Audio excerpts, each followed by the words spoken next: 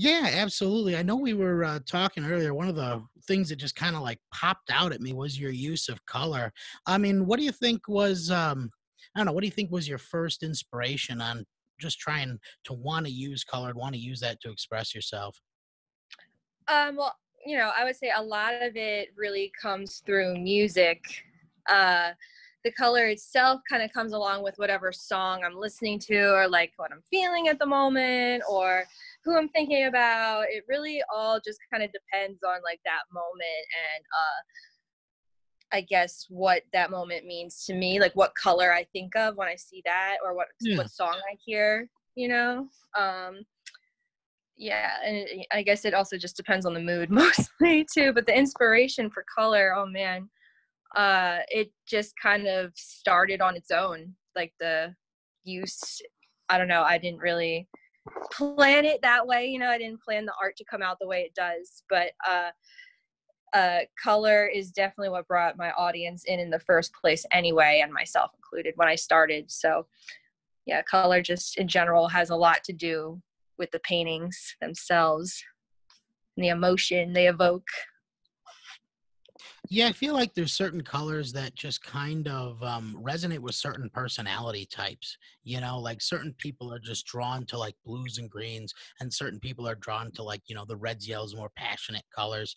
Uh, let me ask you, when, when you were growing up, was there any certain colors that you kind of gravitated towards? Oh my gosh, definitely green. I don't know why that so suddenly came to mind, but uh like just nature in general has a big influence, like feeling grounded. Uh so green thinking about like what other things it goes with besides red like for Christmas or like Yeah. blue with the sky, it's like okay, well how can we expand on this to kind of make that color pop because uh I mean you can't you can't really throw well, I I guess you can throw any color with anything if you really think about it, and depending on the shades. But like green itself is kind of hard to do alone. Right. Uh, so you, yeah, uh, uh, I mean, you could. Don't get me wrong. Like with all the shades of green and all the shades of any color in general, but uh, the combination of the colors, I feel, is what makes the painting itself. You know, because if you, if, even if we just use green as an example, you just look at a plain green painting and i don't know there's almost a sense of like what is it missing hmm so adding additional color to make your color per se pop out uh, is kind of what drew me into it in the first into painting in the first place was seeing what how you can change the way you look at the color and itself if that makes sense Yeah, yeah, like how you can uh, use certain colors to complement it and bring out the subtleties. Like yes whenever I see like green, I always imagine, I always immediately want to add yellow to it, just because I love that spectrum of green, yes yellow, as as my background would indicate. yes Uh, i was just gonna say but uh, but I don't know. Like I feel like I I love that transition from yellow to green because like um, I always kind of look at it from a marketing perspective. Um, hmm certain certain colors are used in like certain brands or referenced in certain ways, like you said, to trigger an emotional reaction. Um, hmm so when you look at like that transition from yellow into green, um, you know, from a marketing perspective, yellow is always something that's vibrant, energetic, right? It's the color of the sun. It's uh, hmm super active. But then green, um, like you said, it's connection to nature or connection to uh, you know um, stability, right? Something firm, yes something lasting.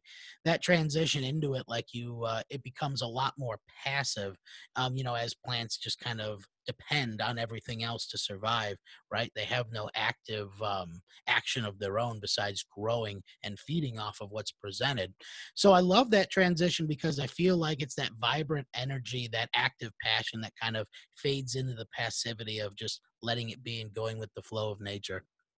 Yeah, yeah, absolutely. And you know, even like if you're looking at a sunset and you see the green in the grass, you can almost see like the transition of color from your landscape to the sky with the vibrancy of the of the yellow, uh, contrasting with the green in the grass. And you know, we all have our own different versions of what beauty looks like, you know, and I guess it would be interpreted differently uh, by somebody different. Maybe I don't know, but I guess it depends on how you feel about the color green and the color yellow and how they go together.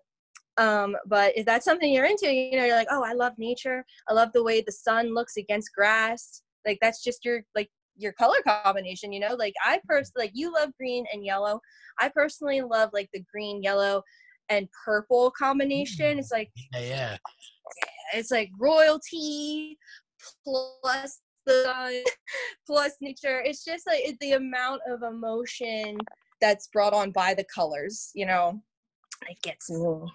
Uh like in movies you probably know that color is often used to portray emotion in scenes and such and i mean i really played off that like in my life just noticing like oh why did they choose a red shirt when this is happening you know yeah. uh, so i guess somehow tying this into my painting but um that's kind of what i like to do is like why am i using this color right now? Like what is the reason for it? And instead of trying to like kind of answer that question mm-hmm. i just kind of let it come out you know? Um i just let like it's like okay i'm mad. What's the color i'm thinking of right now? I guess red because that's passionate about whatever i'm thinking about right now. I'm angry.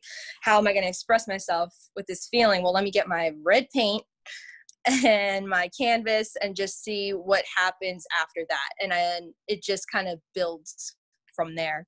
Like uh, painting is very therapeutic for me in general you know?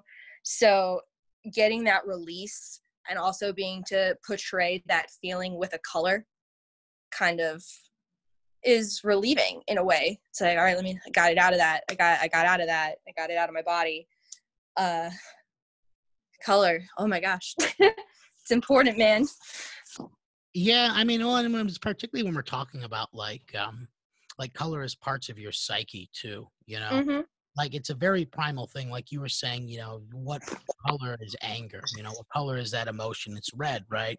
But if mm-hmm. you look how far back that association goes i mean red is also the planet mars right mars was yeah. the god of war right so there's always all this um this um this history of interaction with color and how it's kind of shaped our society how we perceive the environment around us yeah, and then you know it's all up to interpretation too. Like yeah. is like like is my feeling for red the same feeling for you? You know what I mean? Like that's the age old question we all tend to kind of ask. Like is your blue my blue?